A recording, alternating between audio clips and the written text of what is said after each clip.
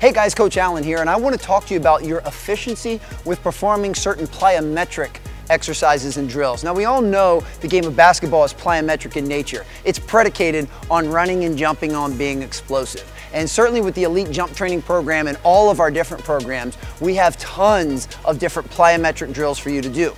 But there's three that I want you to kind of use as your barometer to make sure that you're efficiently moving through these before you worry about doing anything else. And these three come in a progressive manner.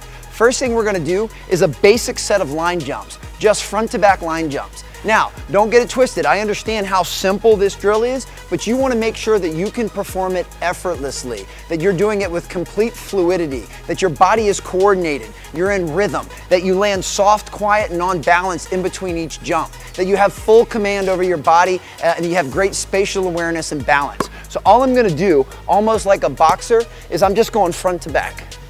And I just wanna create a nice, easy rhythm. You can hear it's quiet. I'm on the power pads of my feet. I've got a nice rhythm. Anytime I need to stop, I'd be able to stop and be on balance. So first is a series of line jumps. Next one we're gonna do are what are called pogo jumps. Goal on pogo jumps, I'm gonna spend minimal time on the ground. I'm gonna land in the exact same footprint each time, and I'm gonna explode up with as much height and explosiveness as I can. So on my pogo jumps, I'm not bending very far. It's almost a quarter jump each time. I'm thinking about being very elastic and I'm thinking about being very bouncy. The last one in our trilogy are gonna be what are called knee tucks. These are gonna be pogo jumps, but I'm going to jump and use my hip flexors and core strength to pull my feet as high off the ground as I can.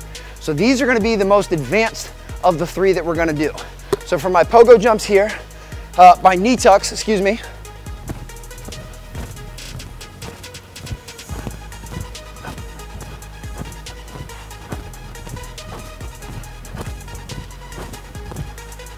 You could hear I could land soft, quiet, on balance. I was engaging my core and my hip flexors.